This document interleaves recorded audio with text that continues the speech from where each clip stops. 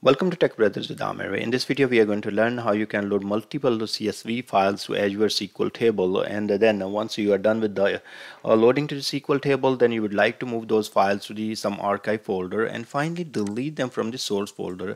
So this is a real-time scenario, and we have a lot of uh, um, customers uh, that, that where we have to implement this type of uh, scenarios.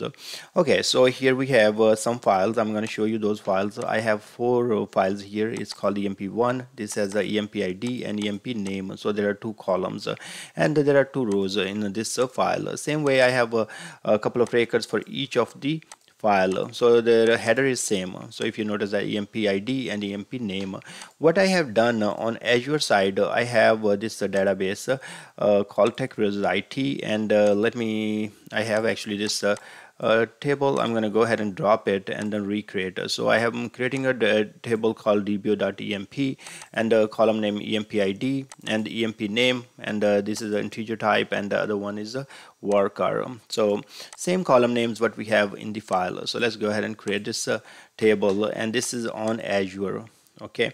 Now let's go back to the azure and we go to portal.azure.com and there i have some storage and i have this uh, sql database that i just showed you right here in ssms so that's what our da database is okay? Now if you uh, want to go ahead and uh, here is our storage so we need to have some containers there where we would upload these files manually for now. And then uh, what we are going to do, we are going to load those files uh, to the SQL. So let's go to our storage. If you don't know how to create the storage, watch my previous videos and you would know that. Go to containers and in the container, I'm going to create a couple of uh, containers. So first of all, I would like to create a container called TB source. That's where our files will uh, be placed at first. Then uh, what we are going to do, we are going to call it another one TB archive. Okay in this folder we will move the files. Okay so let's go to the tb source and here uh, what i'm going to do i'm going to load uh, upload those files. Click on upload and uh, then navigate to the your desktop or wherever the files are. And here my files are. I'm going to select all and you can see right there they are selected. If you want to override it yes but i don't have any of them. So uh, they are just going to be fine. Click on one of them and see the data. So edit and we can see the data is right there. Looks good. So our files are placed uh, correctly in the folder called tb source. Now what we need to do we need to move um, copy these files uh, or data of these files to the sql table and uh, then archive these files in this folder. Okay there is no file in this one.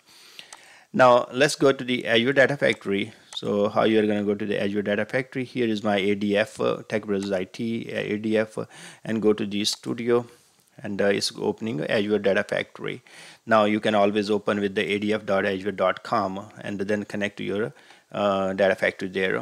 Now what we need to do the very first thing what we are going to do we are going to create some linked services. These are the connection to our storage or our SQL database in this case. Now I'm going to click on create linked service. And here I know that my source uh, or uh, where uh, I will be moving the files that's going to be the archive folder. There that's Azure Blob Storage. So I select Azure Blob Storage. It's asking me I'm gonna name this one. I will call it TB storage. Okay. So I will select a subscription. Then I'm gonna select the uh, storage account in this case, uh, you notice that I did not go to the container level. So it is a pointer or it is a connection to my storage. So it is not a connection to my source or uh, my archive folder and all other containers inside. So this uh, linked service is uh, pointing to my main storage. So I'm going to test this connection uh, and uh, it looks good and I'm going to go ahead and create it. Now the next part is as we have to read the data from our storage and load the data to the SQL, uh, um, that's our Azure SQL Server. So we have to create the connection. So I'm going to go ahead and say Azure SQL and uh, here is the uh, Azure SQL database. We select that one and I'm going to name this one uh, uh, TB. Uh, we can call it Tech Brothers Brothers ITDB. Okay, so we are all good here. I'm gonna provide the subscription here. I'm gonna provide the name of the uh, SQL server. Here is Tech IT name of the database is Tech IT and then authentication is the SQL authentication. I'm gonna call this a TB user. That's my user that I've been using for SQL authentication. And I have to provide the password for that so now I'm going to test it and the test success successful. Let's create now we have two linked services. One is pointing to our storage another one is to SQL uh, Azure SQL so we are all good here. Next is uh, we are creating our uh, ETL part. That's a click on author. Here is pipeline. That's like SSIS package right here. So here we call that a pipeline new pipeline. I'm gonna name some uh, very nice name. So I will call it PL PL pipeline load uh, EMP files. Okay so you can come up with some better name than me but anyways it's all good. Now first of all I would like to copy the files to the SQL table. So I'm gonna uh, get the copy activity here. I, I should do some name uh, copy EMP files to EMP emp table. Okay activity name uh, that's what I gave and you can see right there. Now we are going to go to the source. And here I have to choose uh, I have to create this data source. Uh, if you see right there there is no data set here. And uh, what I'm going to do I'm going to create a new data set hit new. And what, what type of a source we are using here? So we are using blob right? We need to read the data from our EMP files. So CSV files right there. Good. So let's give some name. So I will say P uh, we will say PL uh, 1DS uh, and uh, I will call it uh, DS source. Okay? So we call this this is the name I gave and then a linked service. Remember that one of the storage uh, connection we have created so that's where TB storage uh, now is pointing to our storage. But we need to point further where our files are. So we have to provide the file path. Here is container name directory if uh, there is a directory inside the container and then file name.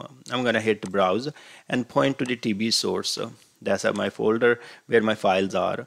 And if you notice that uh, there is no directory here because I do not have any subdirectory inside TB source for the container. Now files. I'm not providing one file because I would like to load multiple files um, okay? And uh, here I can say first row has header. Yes it does. And uh, import schema I don't care about that part. Leave it to none. We will talk about this one later. Hit uh, OK now our source is ready what we are going to do we are going to go to the sink now. And inside the sink uh, what we will do we will create another data set. If you notice here we uh, our data set is created. Now this data set is going to be our SQL table. Azure data. Uh, let me see Azure SQL okay Azure SQL database. Click yes. Now if you know that uh, I'm gonna call it uh, pl underscore 1 underscore ds underscore emp table okay? Now remember that vtech brothers uh, it uh, DB that's the link service we created. That's pointing to our Azure database that's what we are going to use.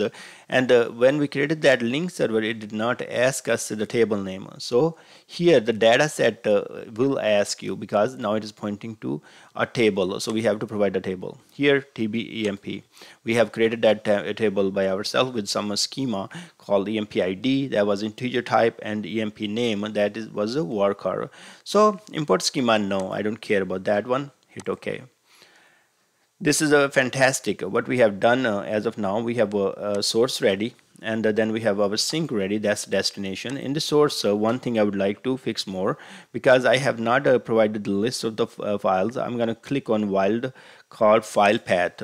So then uh, in the TB folder what type of files you would like to load? I would like to load anything that start with any name dot .txt so if there is any other other file CSV or anything like that it's going to ignore that file. Also I have the freedom to just choose more. If I want to say anything that start with the EMP so remember in our storage I have the files. Uh, let me go back here in the container and if you notice that there was four files and the three of them uh, start with the emp emp emp and this start with t test. So if i want to ignore the test one i can always ignore and only load the three of them. So let's go ahead and take a look here. So let's uh, anything start with the emp asterisk.txt that's what we are going to load. And uh, this is how one file will be ignored. Fine. Now once these uh, files are loaded what I would like to do I would like to create another copy activity in this case uh, I'm gonna move the files so I'm gonna say move files right? Because uh, actually copy file first. Copy files to archive folder okay so first is loading to the SQL table, second is moving to the archive folder, and uh, here is our uh, source. So I'm going to go ahead and click uh, on, uh, I think I can use the same data set actually. Why? Because this is pointing to the same uh, source uh, folder. So this is good. and wildcard, and then I will do the same thing here, emp and dot asterisk. Okay, sorry, uh, emp asterisk dot txt so only move the files uh, which has the name emp start in and then uh, those are the files uh, ending with the extension dot txt so okay. So we are all good. I'm going to go to sink here and uh, in the sink i have to create the new data set because i have to point to the new uh, folder. So here blob click on blob and here csv files are good. And now if you ask me i'm gonna call this one pl dst ds and the dest uh, archive. Okay now links linked service will be the same but inside the folder will be changed. So what is my path for the folder? Archive folder. I'm gonna hit OK and here I don't need to provide any file name or anything and there is no subdirectory inside that. And I also don't care first row has a header because it's gonna get the entire uh, file. I'm gonna hit none here alright so now we have done two things. Our first we are loading the table. Second copying the files. And then the last step what we have to do we have to delete the files in the source. So I'm going to use delete activity here. And uh, let's uh, make a connection there. And now we go to delete. And here in the source uh, remember what type of files we would like to delete or read in the ds source? That's our data source okay? And uh, then here I'm going to do the same thing as uh, I want to do only thing emp asterisk.txt files. So I don't want to delete all the files but only emp files so I can do that. If I want to delete everything I can just leave asterisk dot asterisk you know? So my choice. Now and here it's asking you hey you want to log some information somewhere? And where you would like to log which files you would and this uh, delete activity has deleted. So I'm going to say okay just uh, on the storage on the top level put that information in this uh, container where it is pointing to. Just uh, have that there you know. So it's all good now. Now we can go ahead and publish if we would like or we can debug. I'm going to start with the debugging. So what this uh, uh, activity should do it should read three files load the data into the EMP table so there should be six uh, records. Then it should uh, move those files actually copy those files to the archive folder and then finally delete from our source folder. So there should be one uh, file sitting there without any problem. Uh, that is text test uh, underscore emp i'm going to go ahead and debug I'm really start liking this uh, ADF Azure Data Factory and I hope you guys enjoy this video the same way um, you you like my SSIS videos. Uh, I, I would like to ask you guys subscribe to channel because uh, this is kind of pretty sh shameful like I have 20 million uh, views uh, but I have only 62,000 subscribers and there are people like have uh, even uh, you know not even one third of the views what I have, but they have 100,000 or 200,000 subscribers. So if you enjoy the videos, uh, I, I, there is a tons of watch time on these videos. Uh, so uh, go ahead and subscribe it. You know, it's not going to hurt.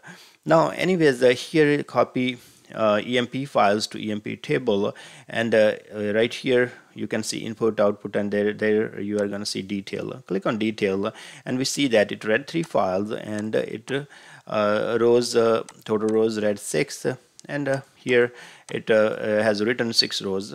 So good. Now let's go back to our table and take a look here. And I'm going to see how many rows. Six rows. So it from three files it loaded six rows. Good. Next our copy files. It copy three files you know uh, from our uh, blob storage and then written to the archive. So that's good so we are going to go ahead and take a look there. Uh, right here I'm going to go back to storage and in the archive we see three files. Good. Now the next part let me see if I want to open it and I want to make sure the records are written correctly. So yeah see uh, aha so if you notice that we did not select the header in the source uh, in the copy. So what happened? It uh, does not have that uh, header here in the files. So we have to fix that. Anyways, we are gonna do that. Now we go back here and finally it has uh, deleted uh, the rows. Sorry, deleted the files. So we see that uh, it has now in the source. if I go in the source, I have only one test.emp because everything uh, started with the emp that's what we wanted to load. Now the only thing we missed here our files which are moved to the archive. Those guys don't have any header right? So we have to fix that. So when see right there? Yep. Okay. So what we are gonna do here we are gonna go back to the this guy. And uh, in the source uh, we are gonna go to the open and uh, here we are going to say first row has header yes. So source has it. So in the destination uh, where we go to the sink and uh, here we open it and uh, first row has header yes. That's what we need to click okay. So now we should be all good. Uh, but how we test it? First of all we will truncate our emp table. Now there are no more records there. Second part what we are going to do we are going to go back to the ADF here. We are going to re-upload these files. Okay. So let's go to storage. Uh, we can delete these files there if we want to. Uh, here is a let's go back here. Let me see. So what I want to do here go to containers and uh, here uh, I want to show you that the log actually. So see right there uh, these are this is generated by the delete activity. So if you click here and edit uh, it's going to show you number of files it has deleted. So emp1 emp2 and emp3 these are the files were deleted and that's the log came from our delete activity remember that? The log we are to put it so that's where it put it. If you want to give to some specific folder you can always create a log folder and put it there. All right so we should be all good here. I'm going to go back to storage and in the storage uh, in the source uh, I'm going to upload these files again. So we have some nice files right there and when we move them they should have the header too. Okay. Upload now we go back to our Azure Data Factory and we rerun the entire thing again. So we hit debug, it's uh, queued again, and now what this going to do going to read those three files, load to the SQL table. So right now, let's see if it is loading. Yes, it loaded all three uh, three files, and then uh, finally, what it's going to do going to work on the next one. So it uh, copied a file from uh, our source folder to the archive and then uh, finally it deleted them. So let's go to the source. Uh, still that test uh, underscore emp is sitting there because we are only filtering for our these guys. So these are loaded. Now click there in the archive and we see that now it has the, the header okay so this is how you it's going to work for you. So uh, if uh, you are interested to load the even last file, file test underscore emp and that's going to be just fine. What you have to do you have to click here in the wildcard. Instead of uh, emp remove that asterisk txt file okay? That's what you're going to do. So now it's going to read that file as well. And here you're going to go to source and here you remove that too. So once uh, it's loaded then it will copy this file as well. And finally in the source in the delete uh, you're to go and uh, do everything. So now it's to delete everything that has extension .txt. Just make sure that's what you want. Okay now we are to go ahead and uh, start debug. This time it should load one file and that has two records and this, that name is test underscore emp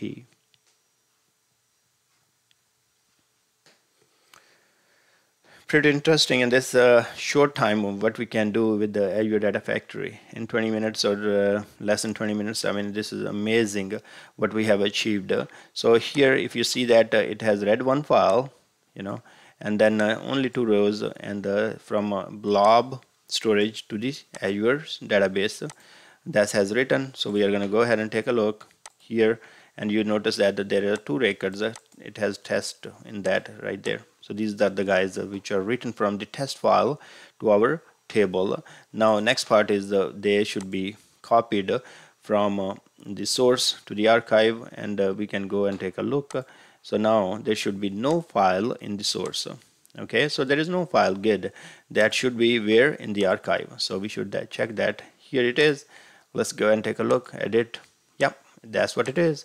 So it is moved right there and then our final is it has been deleted from the source. So it has been. Let's go ahead and take a look on the log information. And here if we check uh, and edit uh, it's uh, showing us uh, this information right there. Let me see if the new log is created. Let me refresh.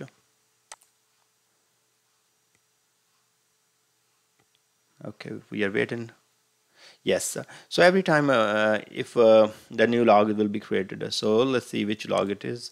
It should have only one entry because there was only one file we loaded. Okay this is uh, again uh, the one uh, let me fill, see which time stamp we have. Okay uh, 29 35 yeah this one. Okay that's the latest one. Okay and that in which we have only one file right there test underscore emp so now you can do a lot more with the login and uh, I just uh, left it right there. So you can always put in a folder and then sort it and all those kind of things and you can put the name actually. So your choice so thank you very much for watching and I hope uh, this video will help uh, to create some real-time scenarios for you. And uh, I will see you guys in the next video. Thank you